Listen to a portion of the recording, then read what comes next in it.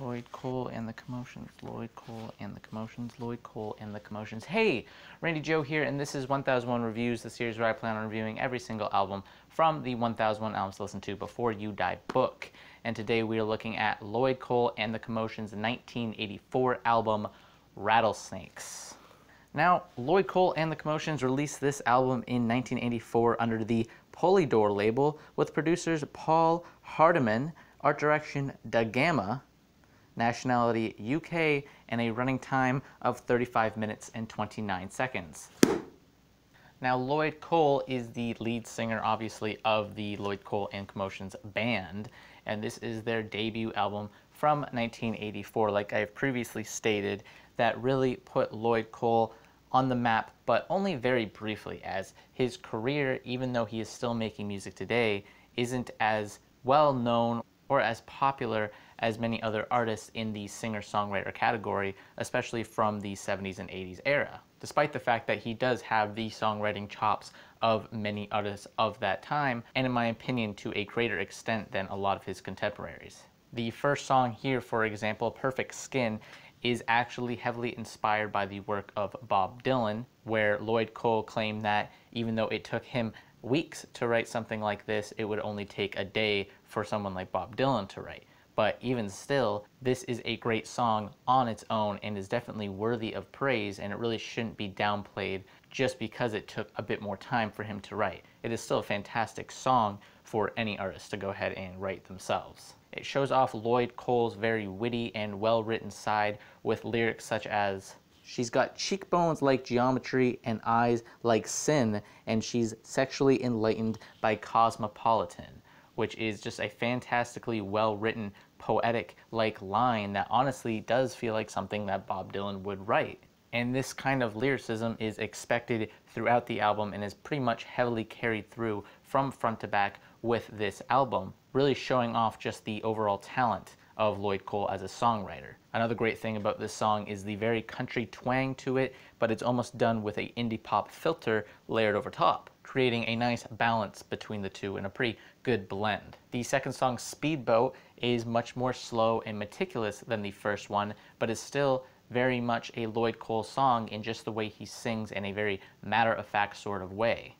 None of the lyrics here are too abstract or too coy like the opening track here, Perfect Skin, but still is a very poetic type of song that sort of tells things in a very straight and blunt way. And songs like Speedboat, for example, have a great atmosphere to them, really having this airy and open atmosphere that is just so incredibly perfect with the tone of voice that Lloyd Cole has. And this is further built upon on the song Down on Mission Street, the fourth track, which has perhaps, in my opinion, one of the greatest sense of atmosphere in the whole album, as it's got this twangy, tranquil, Japanese-like guitar work that works so well with Lloyd Cole's voice and still also carries on an almost country-like twang. It really blends together all these different atmospheres and environments to create a very unique blend. And in doing so, Cole manages to capture this almost reminiscent feeling of nostalgia. Despite not necessarily having a specific point in time to be nostalgic about,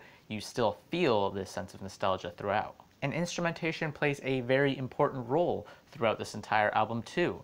For example, on the song Forest Fire, it is a bit more heavy-handed especially at the three minute mark where Cole completely breaks away from the track and instead is very much heavily focused on this instrumental guitar work, which is much more explosive than the previous three minutes of this track and greatly parallels with the overall theme of the song of love being like a forest fire. And I guess at this three minute mark, this forest fire has completely taken hold, or this love has taken hold and exploded and erupted into something more and spread even further, which even though this is a very simple metaphor, it is still very witty and written in a very naturally interesting way. And going back to instrumentation, like I said, with this three minute mark of explosive sounds, it is very interesting that Cole is able to then, on the seventh track, my personal favorite possibly, with the song 2CV, he manages to completely almost remove instrumentation altogether, as this song is extremely acoustic based.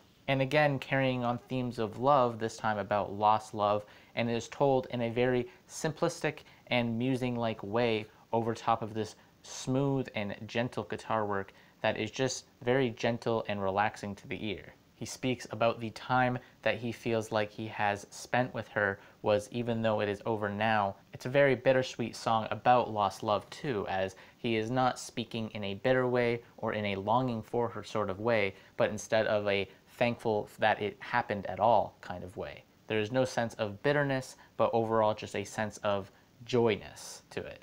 And it is quite bittersweet in its overall tone.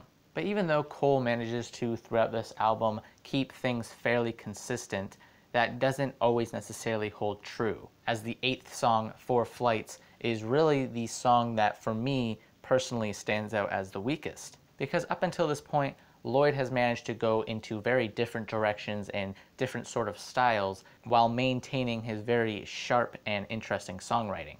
But with Four Flights, it is almost like he is retreading on what he's already done there is this very heavy use of a country twang again over top of the track and Cole's delivery this time is much faster than what he normally would relay and I think the faster delivery plus this almost unauthentic sort of country twang on top really creates for a much weaker track. I'm not a big fan of the way Cole sings and performs in this one. I feel like his performance is significantly weaker than what we've heard so far. It's almost like at this point he's imitating the country sound rather than doing something interesting or authentic to it. But thankfully he ends off this album with the song Are You Ready to Be Heartbroken, which I would say is actually my favorite. I know earlier I said 2CV was, but this one here is definitely the standout track for me, one that I've consistently and constantly gone back to as an individual track because it is just such a fantastically simple song, yet a very blunt song. In this song, he is speaking almost to what seems like his former self, saying, even though you seem so optimistic and you have such an ego and such an amazing passion for life, are you ready for the heartbreak that is to come? Because heartbreak, like with most people, is something that will really knock you down a peg or two.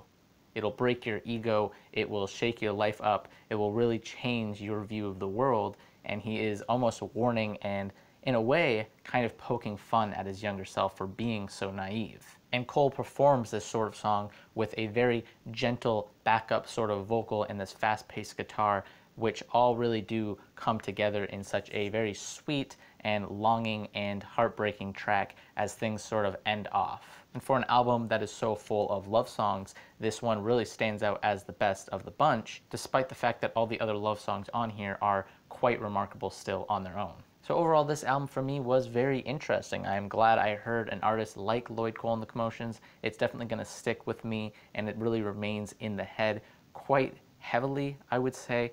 And the influences here throughout the album can be felt. I think there is a Brian Eno, almost Talking Heads influence on a lot of these tracks. I would say this album is actually like if you took Talking Heads' True Stories but made it actually good.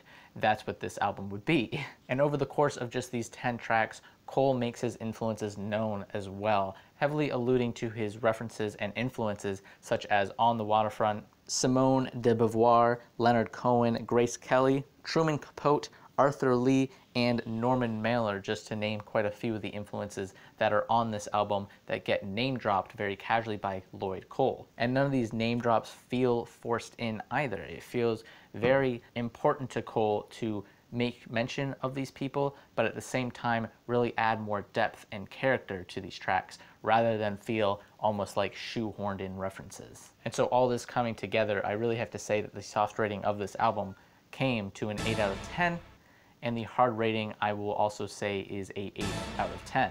And I've gone back and forth. Is this essential? Is this non-essential? I've still kind of going back and forth even though I love this album so much. I'm not sure it is something that is absolutely essential for a die-hard music nerd. Is this something, anything new that they haven't heard? Is this something that you must hear before you die? Um, I would say no. I would say this is a non-essential album. However, even though I definitely enjoy this album and love so much about it, for now it will be a non-essential and maybe one day that will change, but I don't see anything about it that is too significant that it must be listened to before you die. Anyways, that pretty much does it for this review. Let's see what the next album we are listening to is in the 1001 albums to listen to before you die book. All right, random number generator 1 to 1001, generate 516, which is going to be the album 516 being Malcolm McLaren Duck Rock. Not familiar with that one, but that is the next album we are listening to in the 1001 Albums to Listen to Before You Die book. As always, if you like this video, please hit like and subscribe if you want to follow along in listening to every album from the 1001 Albums to Listen to Before You Die book.